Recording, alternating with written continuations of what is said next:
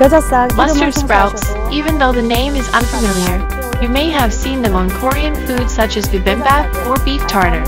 Mustard sprouts are characterized by a pungent, spicy taste that stimulates appetite and goes well with salmon and meat. It is rich in carotene, vitamin C, and calcium and the isothiocyanate gives off a spicy taste, acts as an antioxidant,